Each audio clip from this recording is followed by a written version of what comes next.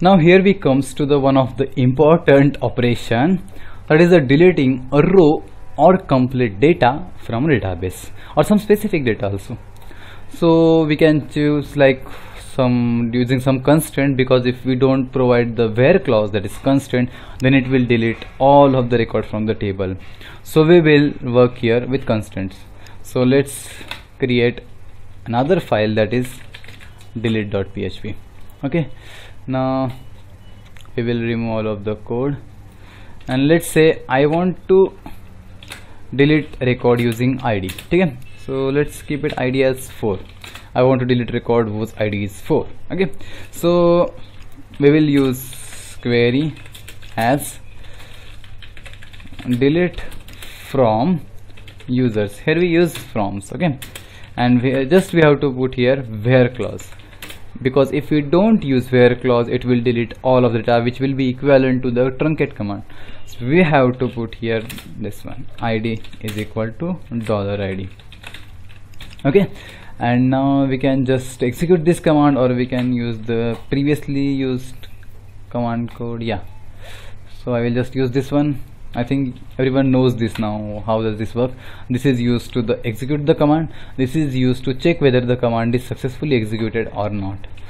So successfully deleted. Okay. Now let's see how does this work. I will I can see here delete.php we can see here for record is present. I will click on delete.php and successfully deleted. Okay we can come here and refresh this one.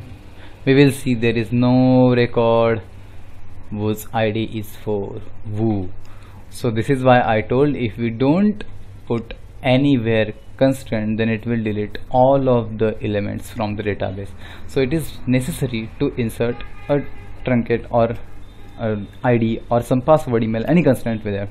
So using this like we can use double like where name is equal to ch2 and email is equal to 123456 so then this will see this row and it will delete only this one row. We can delete multiple rows from this. We can delete whole table using truncate command and there are many more possibilities while deleting the data from the table. So i think there is nothing much to talk about the deleting.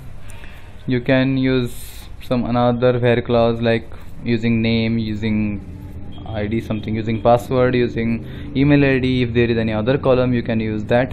And that's all. You can delete the data however you want.